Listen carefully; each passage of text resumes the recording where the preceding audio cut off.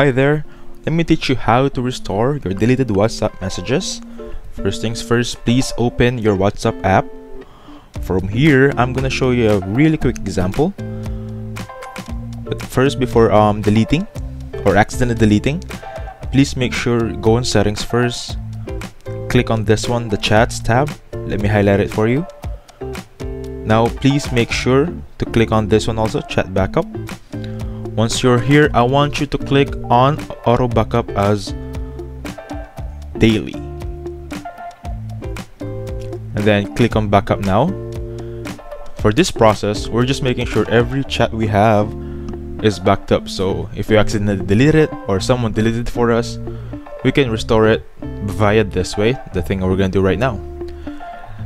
Now that we made sure it's already backed up for example let's just say I accidentally deleted this one chat right here.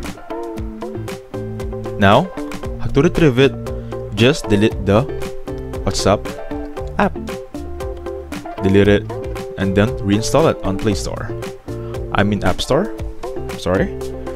So from App Store, I just want you to search for WhatsApp and then reinstall it. Again, please uh, take note that your chat backup should be active daily so whatever might happen or whoever might delete your chats you can always restore it back. Now just let's give it a few seconds here. When it's done uploading click on it to open agree and continue and then apply your phone number. Just give it a second to load. From here you'll see a restore option or a skip option. Since we're going to restore our chats Let's click on restore chat history. Give it a few seconds to load. Since mine is only a few chats, it was only 2.6 MB. Now that being said, earlier I performed an example on deleting a message. Now, you can see here 73 message restored. Click on next and then just put on your name.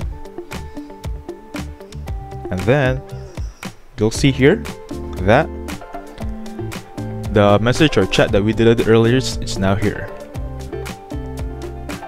So that's how you restore your deleted chats on WhatsApp.